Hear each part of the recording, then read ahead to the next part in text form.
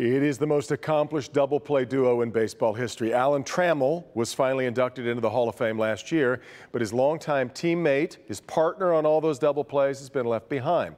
Last night, the Hall of Fame again snubbing the great Lou Whitaker, leaving Tigers fans to wonder if he'll ever join Trammell in Cooperstown. Tonight, Jamie Edmonds, not far from Michigan and Trumbull, where fans are making their case for Sweet Lou. What better place to come to talk about Lou Whitaker and his legacy than Nemo's, the bar that's just a block from Old Tiger Stadium, a place where Whitaker and his teammates would frequent. They would sit over here at this corner table, you know, sometimes, and if there was a bunch of them, they would go into the back room. During the Tigers' heyday, the players were one of the guys, and the patrons here became their biggest fans.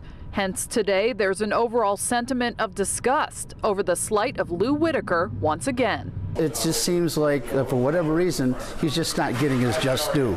The Modern Era Baseball Committee voted two players into the Hall of Fame yesterday. Whitaker, not one of them. He received six votes out of a needed 12. I thought for sure he would get in. Chris Brown and Roger Castillo host a podcast, Tigers SRD. He's among the top five second basemen of all time in terms of stats.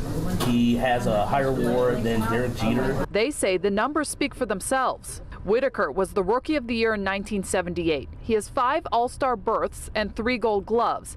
He and Alan Trammell turned 1,918 double plays. Tram is in, Sweet Lou is not. It's not over for him. He's got another chance in two years, and, and we're still holding out hope that he'll get in. These guys say if the Hall of Fame won't honor Whitaker, it's time the Tigers retire his jersey.